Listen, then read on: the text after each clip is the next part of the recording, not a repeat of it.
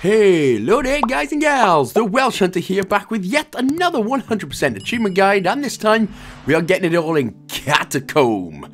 Or it could have been better if it was called Coma Cat. Anyway, Master. Uh, this was developed once again by Alexander Bondarenko and published once again by Desert Water Games and yet again is another easy sub five minute completion. Of course, we'll expect some title updates in the future. But anyway, so we play as a cat who is in a comb or a tomb, and he's got to master his way out uh, through every level. You know, pretty much the standard for um, most platforming games. Uh, but the achievements are extremely easy. Uh, as we've come to expect here with um, DWG games and some Alexander Bondarenko classics, uh, we've got to move some blocks. We've got to start level 1, level 2, destroy a barrier. Uh, level 3, even though the achievement description says you must start the level 5, which I found hilarious. Uh, kill a worm, start level 4, kill a bat, start level 5, and drop a block. So, yeah, it's another easy classic one just to get, you know, just to get the arguments kicking in again about what's good achievements and what's bad achievements, and whoa, let's not get into that one right now. Anyway, with that being said, then let's do it. And the, the, the achievements are still, uh, very, the achievements, the gameplay, the achievements, it's all very easy. The levels are very easy as well. So after this little cutscene where the cat drops a bunch of stones down, maybe he's looking for some milkies. Maybe cat's just looking for a, you know, good time because cats are weird and the cats do have orgies a lot, don't they? Anyway, uh, head to the right and jump. Push the block. You'll automatically do that and you'll get the first achievement there. Jump up to the right.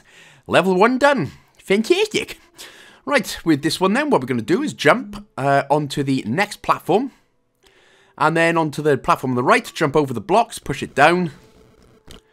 And then you'll have to walk to the left, drop down, go to the right, and push the block uh, over to the left in order to jump up, in order to get through the darkness of the hole. The old uh, succubus trap, as we like to call it. Oh, just joke, I'm so sorry. Right, so you can press the X button to shoot as well. Not that there's anything to shoot on this particular level, but jumping up to the top there, pushing the blocks down. We're going to get another achievement here. So we will drop down to the right, press the X button a couple of times to shoot the barrier, and you'll get the shooting the barrier achievement. Jump up, uh, push the block to the right, make sure it doesn't go off the edge. Jump up, jump up, and get down. Jump, jump, jump, jump, wait, etc., etc. Well, you know the song. Right, this one we're going to kill one of these worms. Man, that looks like me when I've woken up in a bad mood. I am worm-like. So jump up, uh, kill the second worm as well, because he'll just get in your way. Drop down and then push the stones blocks over to the right. Keep doing it over to the right until um, it'll stop on the little blocks, uh, the little stones. Jump up, jump up and go to the left.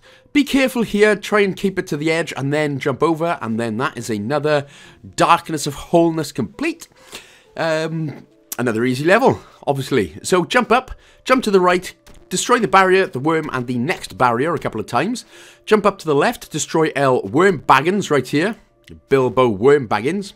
Drop the blocks down and then go to the left, push the blocks to the right. Now you have to be careful because if you jump too high, you will get killed by the bat and you'll have to start the level again, which is just a shame. So wait until the bat's going to the right, jump up, shoot him dead. That's another achievement. Push the blocks over to the right slightly, jump all the way down without breaking your little kitty kitty catty legs because apparently you've got nine lives anyway.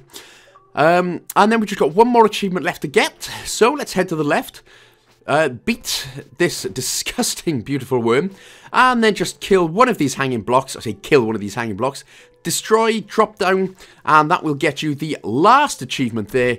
Block dropped, and then you can either quit it now or you can just go on to the next level. So I'd assume be aware of some title updates in the future, but for now, that is that. 10 out of 10, job done. So thank you so, so much for watching, guys and gals. I uh, hope you enjoyed the first couple of levels of this game. I hope the guide helped as well. If it did, of course, don't forget to like, comment, subscribe, and share with a friend as well. Uh, big shout out to all, all my Patreon supporters and my YouTube member supporters, legends of the highest order, and I'll see you in the next one. Big old love.